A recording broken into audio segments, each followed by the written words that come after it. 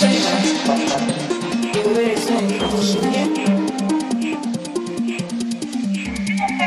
навсегда.